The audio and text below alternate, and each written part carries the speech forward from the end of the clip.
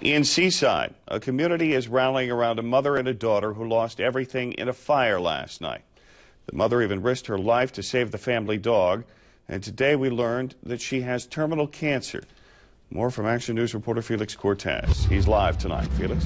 Well, Dan, Stacey Evans may not have a lot of belongings or much time to live, but right now what she does have are a lot of friends and family coming to her aid.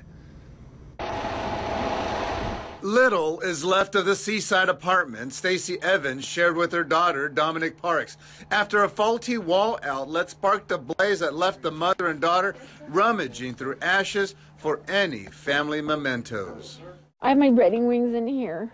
I want my daughter to have and enjoy from my grandmother, and that's all. That's all I want to kind of retrieve, and then I'm I'm done.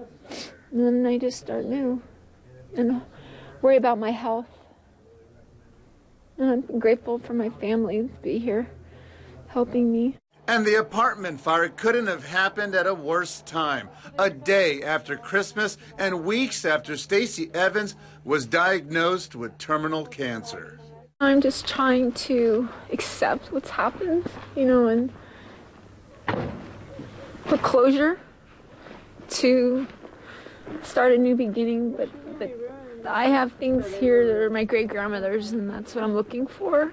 The 47 year old Evans says doctors have given her three to six months to live without treatment. One may wonder if that played a role in her decision to go inside the burning apartment to save the family dog, Indigo. She broke the window, went in, and got him because she was he was in a kennel. She knew exactly where he was.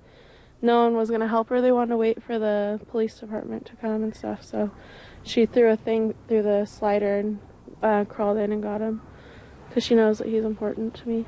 Evan says it's also important to have hope and family and a caring community. The mother and daughter grateful to those who have donated time and money to help them through this difficult time. I've got cancer and I'm homeless.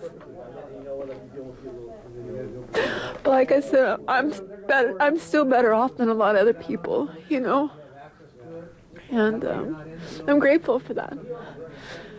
I'm alive, and it's a beautiful day. God's given me that, so I'm blessed.